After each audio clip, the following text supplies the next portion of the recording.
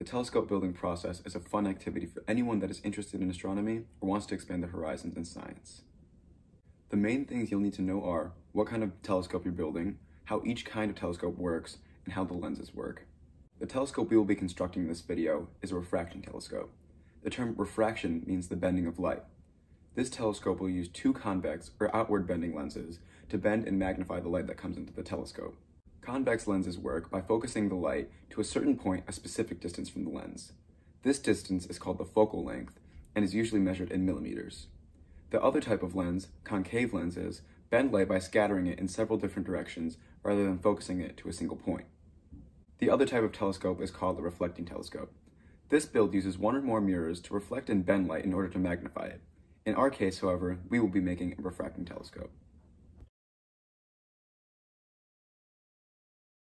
For this build, you will need two PVC pipes of different diameters, a connector for the PVC pipes, two different sized lenses. I was able to find this 3 inch 100 millimeter focal length lens off of Amazon, and my smaller lens could also be found on Amazon. It is a 1.25 inch 10 millimeter focal length Plössl lens. And you could see this is what it looks like. And here's what my other lens looks like manila file folders that you could see I've already used a little bit, hot glue and regular glue, a box cutter or scissors, and potentially a small hand saw used to cut the PVC pipes. In this build, the PVC pipes will act as a body of the telescope. Here, we will use the connector to create a sliding mechanism that many refracting telescopes have later on. In my situation, the PVC pipes were just too big for my lenses. You could see here that if I were to place my lens in here, there's just a little bit of space around the outside and so if I were to place the lens in here, it would fall right through. To solve for this problem, take your PVC pipe and place it on the manila file folder, like so. Then, carefully outline the pipe with a pencil. So you could just leave it there and very, very carefully outline it like so. And now you can see we have the outline. And as can be seen when I place the lens in between or in the middle of this outline, um, there's a lot of room on the outside. So now we are going to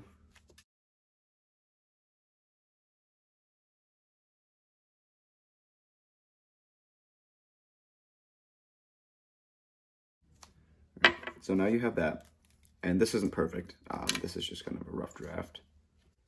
Once you have your two outlines, take the box cutter and cut out the inside circle first.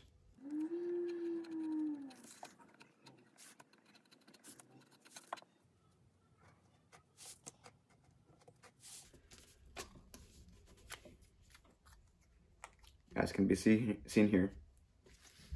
Um, and then cut out the outside circle.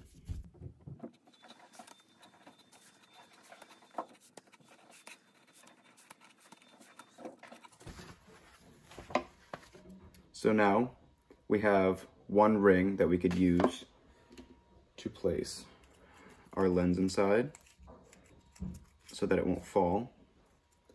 And then we place this on the PVC pipe and it may slide and that's why we're gonna glue it down, but this is the starting uh, point for this.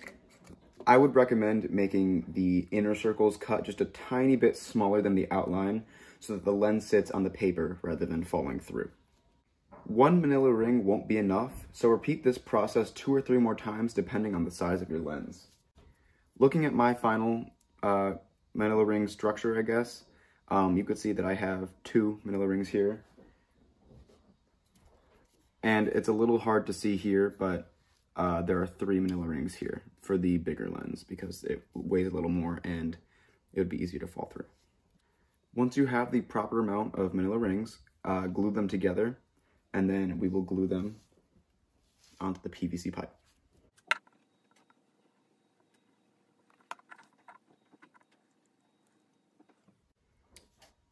And now you are going to let this dry so that it stays on.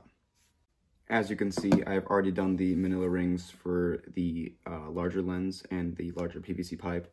And now we're just gonna finish gluing it on.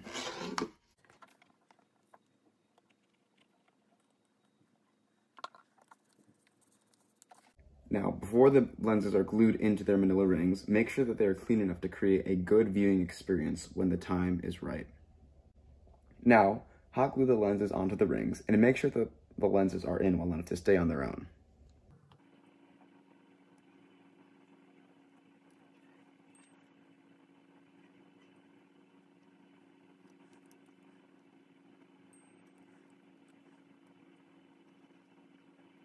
Finally, depending on the focal lengths of your lenses, you may have to cut your pipes down according to size, or all you will see through your telescopes will be a big blur. I had to cut mine down a lot in order to see properly through mine.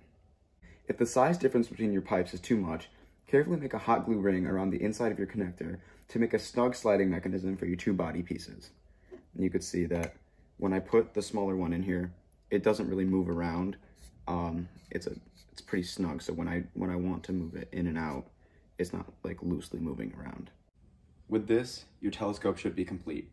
You may have to tweak the body lengths of the pipes more as you use the telescope, but with this tutorial, you should now have a fully functional refracting telescope.